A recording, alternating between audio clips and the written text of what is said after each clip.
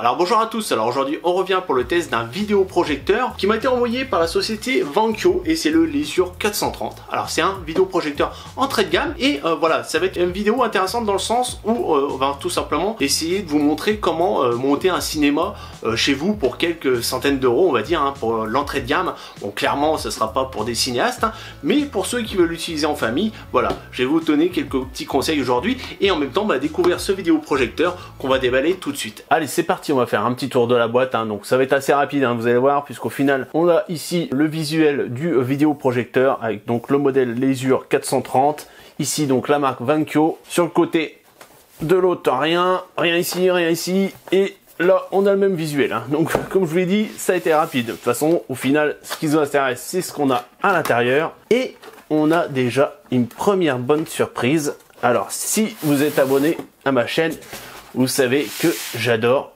quand il y a des sacoches. Et donc là, bah voilà, on est déjà bien fourni.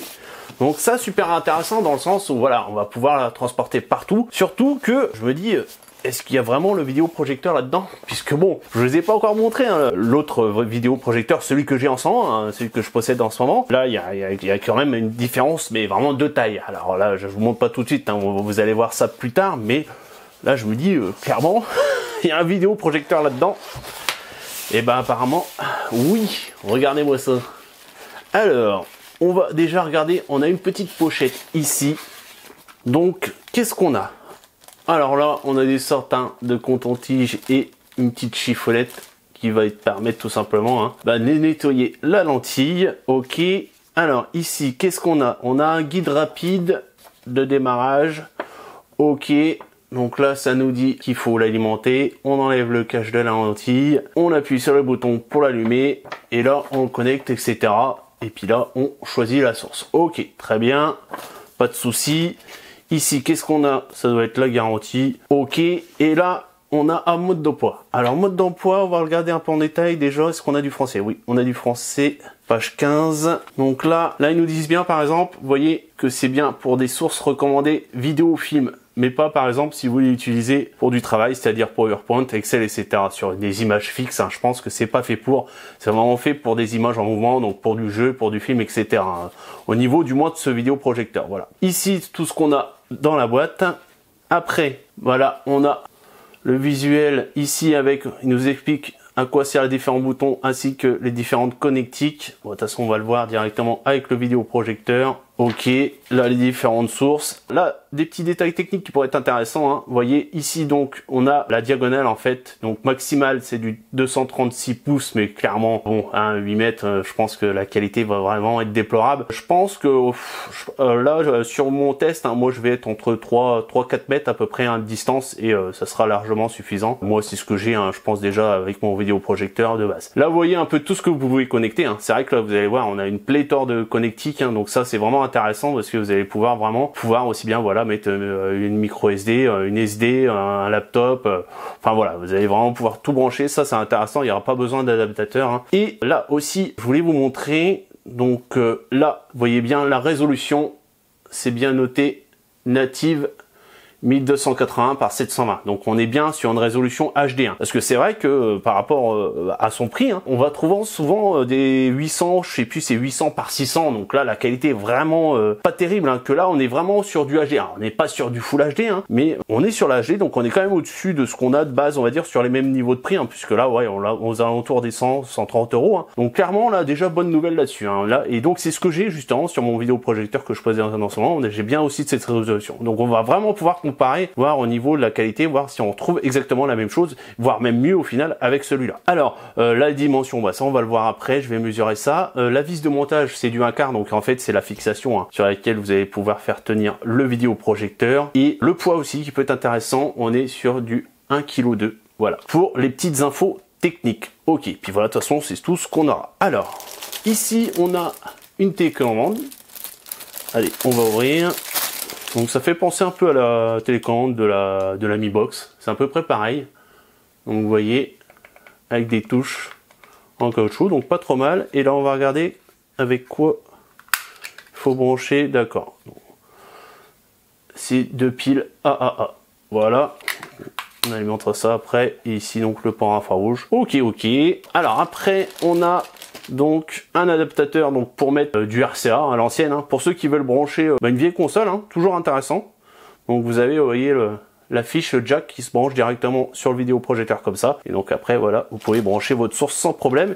Ici, on a une vis hein, qu'on va mettre en dessous du vidéoprojecteur pour euh, tout simplement régler son inclinaison. Et ici, un petit quality check. Ok, ça marche.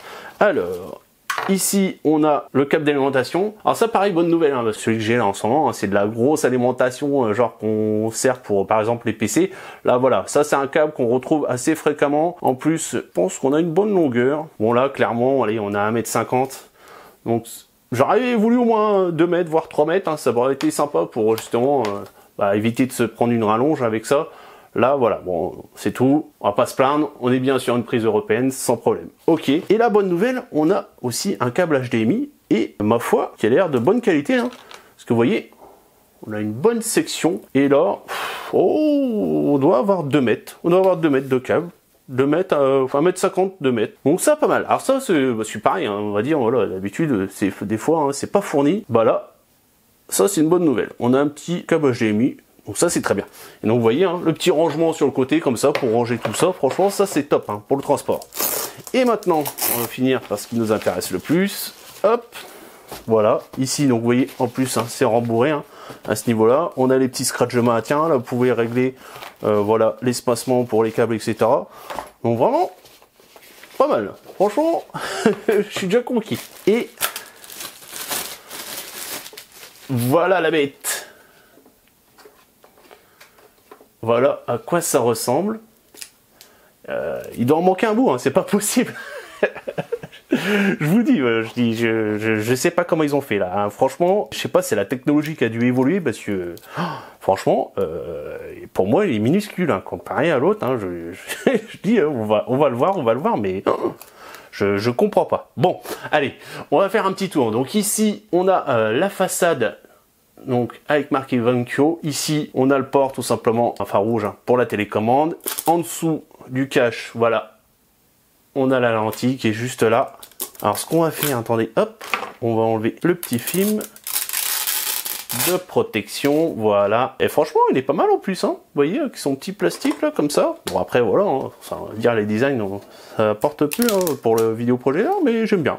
Il est classe. Alors pareil, on va enlever le film ici. Là, ils nous disent, hein, de faire attention aux yeux, hein, pas de regarder. Ok. Donc ici, on a sûrement le réglage du focus. Hein. Et ici, donc en fait, c'est le keystone, ils appellent ça, euh, enfin c'est le, trapèze, hein. c'est l'inclinaison. Par contre, ça, vous allez voir, euh, vaut mieux pas y toucher. Hein. Bon, on verra ça après plus tard, quand je vous montrerai euh, pendant pendant le test du vidéoprojecteur. Mais déjà sur l'ancien, c'était un peu la, même chose. Voilà. Ok, donc ici, on a bah, les commandes, tout simplement comme bah, on a sur la télécommande, on a exactement les mêmes. Voilà, on peut très bien aussi bien naviguer avec la télécommande ou directement sur le vidéoprojecteur. Là, vous pouvez choisir votre source. Là, mon avis, c'est les menus, l'alimenter, etc. donc on a pareil un port infrarouge, hein, ok.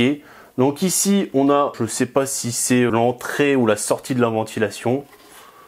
Je suppose que ça doit être l'entrée, la sortie doit être sur ce côté-là. Là, pareil, vous avez aussi un trou pour la ventile ici. L'alimentation qui se fait par le côté, comme ça. Donc là, maintenant, sur ce côté-là, on va arriver, bah, ce qui nous intéresse, hein, c'est vraiment les connectiques. Et donc ici, donc on a l'ancienne connectique VGA, mais qui pourrait être intéressante pour ceux qui sont équipés encore bah, de vieux PC portables. Hein. Bah, voilà, hein, ça fonctionne toujours, ça marche très bien. Donc VGA, le câble HDMI, bien sûr. Là, ça aurait été sympa d'avoir au moins euh, deux entrées. Bon, au final, voilà, on va en faire avec une. Ici, on a le port SD, donc ça aussi, bonne nouvelle. Et euh, donc, vous pouvez après, avec un adaptateur, mettre des micros SD. Ici, donc, le port USB et donc ici, on a l'entrée AV avec euh, l'adaptateur hein, qu'on avait tout à l'heure, hein, voilà, qui était là.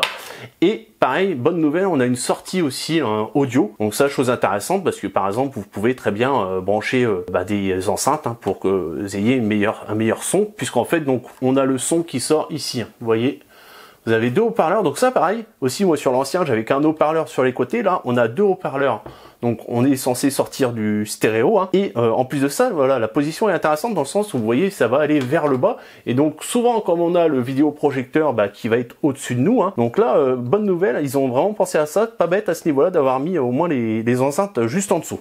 Ici, on retrouve la référence, hein, donc les UR 430, et donc le modèle c'est GC 333. Voilà, les voltages, etc. Donc ça, pas de souci à ce niveau-là. Ici, on a des gros patins en caoutchouc qui sont collés, je crois. Donc là, ici, on a la vis. Donc aussi bien qui peut nous servir pour euh, tout simplement fixer, par exemple, sur un trépied photo, ou tout simplement pour mettre, hop, le petit pied là, pour tout simplement pouvoir le poser comme ça et régler au niveau de l'inclinaison. Donc ça peut servir aux deux. Voilà. Donc, bah écoutez, je pense qu'on a fait le tour. Hein. Donc maintenant, hein, bah on va passer au test. Hein. On va tester tout ça. Allez, c'est parti. Donc avant de commencer le test du vidéoprojecteur, je voulais vous montrer comment j'étais installé hein, depuis quelques années. Donc ici, on a ma télé et donc juste au-dessus, on a voilà l'écran rétractable. Donc qui est fixé au plafond avec des petits crochets blancs. Hein. donc vous voyez, ça jure pas trop. Et donc c'est un écran que j'avais acheté à l'électro-dépôt à l'époque, 40 euh, euros, donc pas très cher. Hein. Et donc hop, on descend. Et ça passe juste devant la télé. Et voilà ce que ça peut donner. Donc ça fait l'affaire. Voilà. Alors par contre, c'est un 4 tiers. Hein. Mais en fait, hop, on peut très bien régler. On monte un peu. Et voilà. On passe en 16 neuvième en 2 secondes. Voilà ce que ça donne au niveau de l'écran de projection. Donc maintenant, on va regarder côté vidéo projecteur. Donc nous voilà maintenant côté vidéo projecteur. Mais vous allez me dire, bah il est où? Bah Parce que tout simplement, je ne l'ai pas installé encore. Et là, vous, allez me dire, mais je l'installe où? Parce qu'il n'y a pas de fixation. Alors, comme à 10, vous voyez, il y a un petit crochet ici. Et là, en fait, quand j'enlève le tableau, hop, vous allez voir apparaître une fixation. Voilà. Allez, on va monter ça. Donc le voilà maintenant installé. Hein. Donc en fait, vous voyez ici, donc en fait, j'ai acheté le support là. Et ben, en fait, avec la distance, hein, donc là on, a, doit avoir un mètre, hein, avec le poids de celui-là, bah ça tenait pas. Donc en fait, j'ai rajouté cette petite chaîne en plus. Donc euh, j'avais chopé à Castorama, ce pied-là, je l'avais trouvé, enfin ce support-là, je l'avais trouvé euh, sur Amazon. Hein. Je vous mettrai un lien dans la description si je le retrouve. Parce qu'en fait, je voulais tout simplement éviter euh, bah, faire des trous dans mon plafond. Hein. Donc bah, en fait, j'avais trouvé ce petit système. Hein. Et bah franchement, c'est pas trop mal, puisque après, vous voyez, après, je camoufle ça avec mes tableaux au niveau du support. Et puis voilà, moi, bon, je m'en sers pas tous les jours du vidéoprojecteur. Et donc, comme je vous parlais de taille, regardez. Comment c'est possible? Expliquez-moi. Regardez. Il fait la moitié. Il fait la moitié du, du vidéoprojecteur. Comment c'est possible Je sais pas. Alors là, je vous dis, même là, au final, j'avais fait une installation euh, qui tenait du feu de Dieu. Là, avec celui-là, il n'y aura pas de souci, hein, ça bougera pas. bon, allez, on va aller regarder ce que ça donne maintenant en projection. Donc voilà, c'est installé.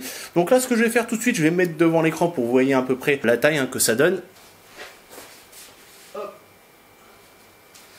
Donc là, au final, on est sur une diagonale de 2m20 et euh, donc le vidéoprojecteur est pile à 3 mètres. Donc pour que vous situiez un peu euh, par rapport bah, par exemple à votre pièce hein, si vous voulez l'installer, donc voir un peu. Donc moi je dis 3 mètres de distance pile et 2 mètres 20 et 1 mètre 50 de hauteur. Alors ça je trouve ça un peu bête, euh, c'est vrai que par exemple bah, sur mon ancien vidéoprojecteur il était un peu plus haut. Donc là, je sais pas comment je vais faire mon installation parce que je le trouve assez bas quand même par rapport à l'autre. Et là, l'intéressant, c'est par exemple, vous avez une petite étagère, etc. Peut-être c'est ça que je vais faire. Je pense que je vais mettre maintenant une petite étagère, un truc. Enfin, je vais voir. Je vais essayer de magouiller ça. Mais euh, voilà, pour l'installation, puis bon, voilà, les dimensions, faudrait que je vous les redonne. Je vous les redonnerai euh, à la fin en conclusion parce que c'est vrai qu'au final, j'ai complètement oublié de vous les donner en intro, mais c'est pas grave, je vais les redonner à la fin. Donc là, au final, je l'ai branché euh, sur mon PC portable. Je trouve que c'est une utilisation assez simple hein, pour tout le monde. Voilà, vous branchez directement sur un PC portable.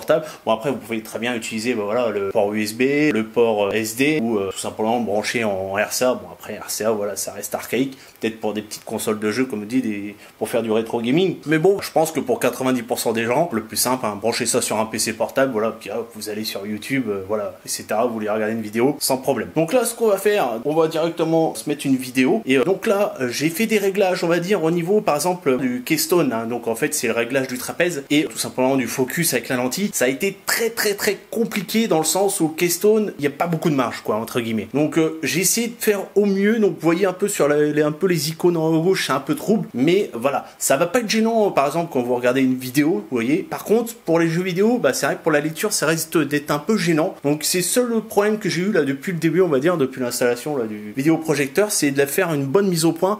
Je pense qu'en euh, voilà, en y passant encore quelques temps, on pense vraiment avoir un bon focus. Mais vous voyez quand même que, bah, par exemple, sur les icônes en haut à gauche, voilà, c'est pas net. Et si j'arrive à les mettre net, c'est le bas à droite, bah, en fait, que ça va être fou. Enfin, c'est un peu bizarre. Enfin, je pense qu'il faut que je règle, que je trouve encore la bonne position au niveau du projecteur. Ça, ça prend du temps. On peut pas le faire ça en 5 minutes. Mais euh, je tenais à vous le préciser. Donc là, ce qu'on va faire, on va tout de suite lancer une petite vidéo. Donc le son va sortir directement hein, du vidéoprojecteur. Hop en mettant plein écran. Je vais monter un peu le son. Vous voyez. Donc en plus là, le, euh, ventilateur, il s'entend vraiment pas quoi. Hein.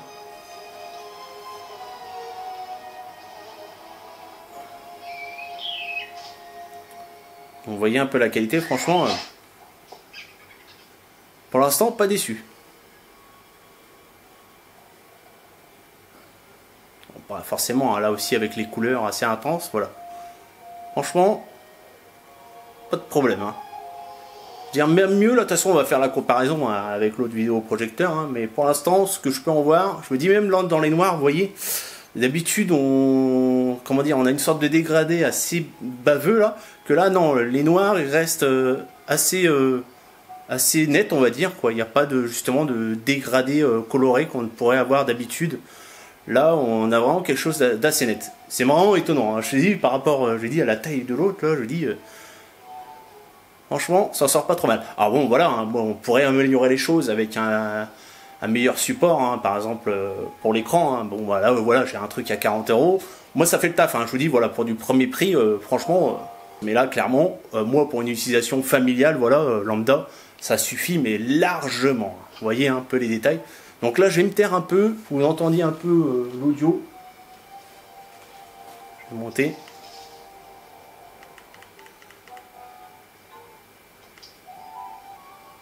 Donc voilà, hein, c'est pas fort en même temps, c'est pas le, la vidéo n'est pas fort. Donc clairement l'audio c'est pas ouf, hein, faut pas non plus s'attendre à quelque chose de dingue, mais euh, dans le sens où comme je vous dis ils sont bien situés au niveau du dessous du vidéoprojecteur.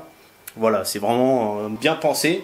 Donc ça fera la point. Après, euh, voilà, si vous voulez l'utiliser vraiment, mais faites un appoint avec par exemple des haut-parleurs branchés directement dessus. En plus, vous avez la sortie jack hein, dessus, donc euh, là l'intéressant est là. Hein.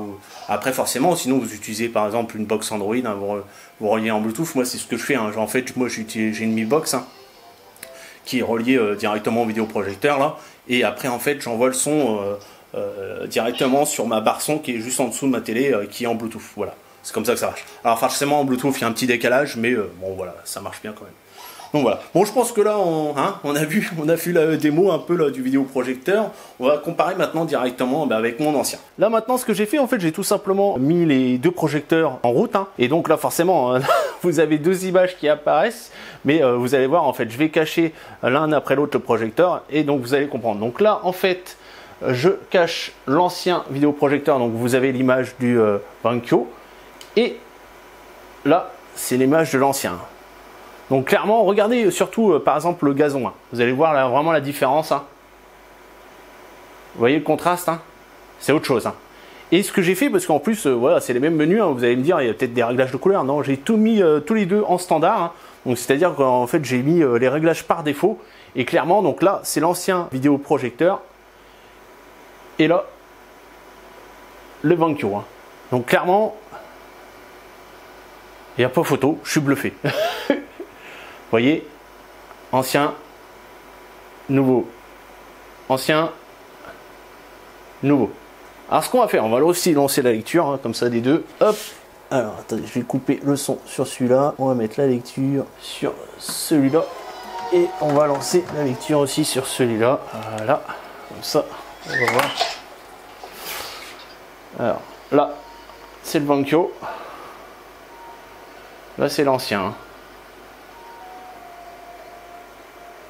Là, le Vankyo. l'ancien. Le Banquio, l'ancien. Vous voyez ce que je disais là au niveau des noirs? Voilà, sur l'ancien, voilà, c'est pas terrible. Vous voyez les noirs, comment ils font dégrader, c'est bizarre. Et là, le Bianco. Donc c'est bien, hein, comme ça vous voyez, vous avez un petit comparatif hein, des deux. Donc l'ancien, le Bianco. Voilà. Ah, on peut durer des heures, hein, comme ça. bon, maintenant on va aller faire un petit tour des menus. Donc maintenant on va faire un petit tour dans les réglages. Donc ici c'est l'image. Donc là on va pouvoir hop régler euh, tout simplement le contraste, luminosité, couleur, netteté, etc. Donc standard, voilà, c'est euh, par défaut. Après vous avez soft, vous avez utilisateur. Donc là c'est ce que j'ai fait. J'ai trouvé, vous voyez, voilà, si vous voulez avoir un petit réglage, euh, des petites idées, moi j'ai mis comme ça, je trouve ça pas trop mal, donc je vais le laisser parce que là je l'avais mis en standard pour comparer avec l'ancien vidéoprojecteur, donc là je vais le laisser en utilisateur, hein. donc là vous voyez un peu mes réglages à moi, perso. Température de couleur, j'ai laissé par défaut, donc vous voyez standard, sinon vous pouvez mettre chaud, voilà vous pouvez régler vous-même, et puis froid. Donc moi j'ai laissé standard, voilà. Donc l'aspect donc là ça je l'ai modifié puisqu'au début il me bouffait un peu l'image là du fait que j'étais sur le PC. Euh, il m'a renié un peu l'image donc moi je l'ai mis en just scan, voilà. Comme ça, si vous le mettez en auto, eh il m'avait un peu mangé de l'image au niveau euh, tout simplement du, PC portable. Donc euh, bah, faites-le hein, si vous avez justement ce petit souci. Alors noise réduction, alors je suppose que ça va être lié au ventilateur mais euh, je pourrais pas vous dire. Ou c'est au final c'est à l'image, mais alors regardez, vous voyez, je fais le, truc là, réglage, ça change rien du tout. Je sais pas. Hein? Si vous savez, dites-moi en commentaire. Donc la forme projective, donc là, bah, en fait, c'est si vous mettez à l'envers, à l'endroit, vous allez voir, regardez, hop, voyez. Donc euh, moi, si je l'installe, forcément, bah, je le retournerai, donc ce menu me servira. Voilà. Et donc là, Redux Display, en fait, c'est tout simplement, vous allez pouvoir réduire, voilà, l'affichage alors, je pense qu'après, forcément, on perd en qualité hein, d'affichage parce que vous réduisez, en fait, vous perdez des pixels, hein, je pense. Bon, après, voilà, ça permet d'ajuster, voilà, si vous avez tout simplement bah, le vidéoprojecteur trop loin, du moins. Alors, au niveau du son, donc là, vous pouvez faire des réglages comme le, bah, alors haut ou basse. Hein, donc, à mon avis, c'est euh, aigu et basse. Il n'y a, pas de médium. bon, maintenant, clairement, voilà, vous pouvez vous en passer de l'audio, je vous le dis si vous avez d'autres moyens du, bah, justement de faire sortir le son, hein. faites-le. Euh, bah, la balance, hein, voilà, et auto volume. Bon, moi j'ai laissé comme ça par défaut. Et donc le dernier menu, donc vous pouvez euh, changer la langue, restaurer, euh, mélange. Alors ça en fait, c'est vous voyez, c'est le fond en fait qui apparaît. Vous voyez, hop, voilà, j'ai mis middle. L'OSD, bah ça c'est en fait c'est le, menu comme il apparaît. Et euh, apparemment s'il y a des mises à jour, vous pouvez les faire. Voilà. Donc euh, maintenant ce qu'on va faire, on va tester un petit jeu vidéo. Allez, c'est parti. Donc on va tester maintenant, voir ce qu'il donne en jeu. Euh, c'est vrai que ça peut être intéressant par rapport aux images qui vont assez vite, hein, colorées, voir un peu bah, si le vidéoprojecteur arrive à suivre. Hein. Allez go, solo, un grand prix. On va mettre allez en 150 cc. Soyons fous. Mario, Allez, on laisse par défaut. Allez, on est parti. Qu'est-ce qu'on prend? Allez, la prairie mémeux. non mais voilà, moins voir un peu ce que ça donne pour une utilisation euh, gaming. Hein. Donc là, j'ai tout simplement branché la Switch hein, directement en HDMI hein, sur le vidéoprojecteur. Donc clairement, voilà, ça s'est euh, connecté tout seul sans problème. Donc vous voyez quand même la qualité, ben, est pas mauvaise du tout. Maintenant, on va voir un peu euh, démarrage, si j'arrive à faire un bon démarrage. Allez.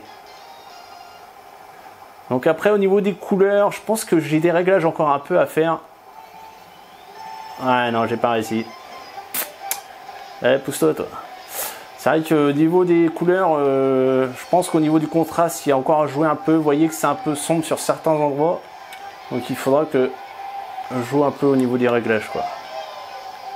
Et vous voyez là, niveau vitesse d'affichage, franchement, euh, c'est jouable. Hein. Puis c'est pas gênant, hein. c'est vrai que des fois, euh, je sais que certains euh, voilà, ont des soucis du fait d'utiliser un vidéoprojecteur en jeu. Ça gêne, bah clairement, aucun problème. Hein. Ouais, bien là, toi. Allez, on refait un petit tour. Vous voyez. Bah, dites-moi ce que vous en pensez, vous, mais franchement, moi, clair, pour, moi, clairement, il n'y a aucun souci pour y jouer. Hein. Et puis bon, voilà, hein, là, en plus, voilà, j'ai pris un jeu de course exprès pour justement euh, bah, avoir des, de la vitesse au niveau de l'affichage. Hein. Bon, dégage la vache. Mais euh, vous voyez qu'il n'y a pas de, ralentissement ou, ou d'images fantômes ou autre. Voilà, c'est tout à fait jouable. Voilà. Bon bah écoutez, je pense qu'on va en rester là. Pense qu'on a fait le tour au niveau du test. Allez go à la conclusion. Donc voilà, hein, c'est temps de la conclusion et on va commencer par ses défauts. Et le premier, comme je l'ai pu dire pendant le test, c'est son réglage hein, du focus et de son keystone.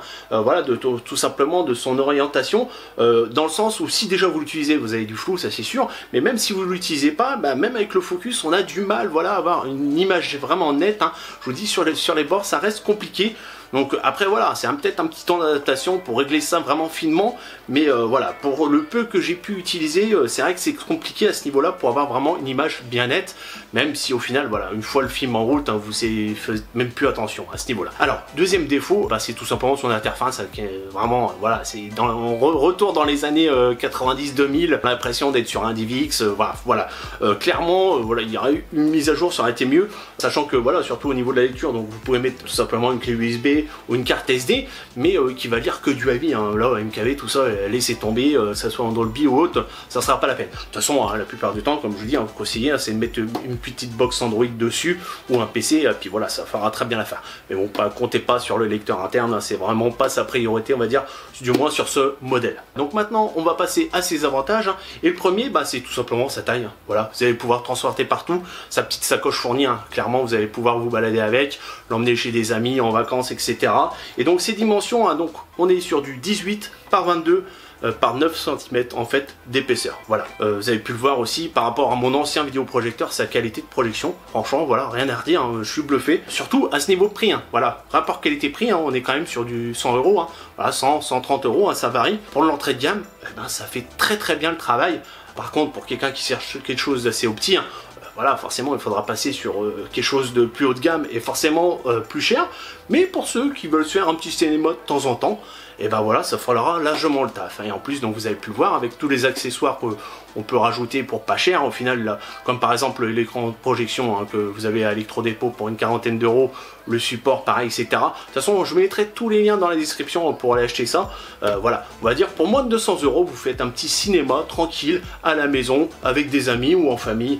Et franchement, voilà, le petit vidéo projecteur, ça fera très bien le taf. Donc en tout cas, j'espère que ça vous donnera des idées. Hein. Laissez-moi aussi euh, en commentaire bah, si vous avez aussi des petits euh, configs comme ça en entrée de gamme euh, qui pourraient aussi bah, donner des idées à certains. Et bah, donc comme d'habitude, hein, si vous avez aimé, likez, partagez, abonnez-vous. Allez, ciao, bye bye, à la prochaine.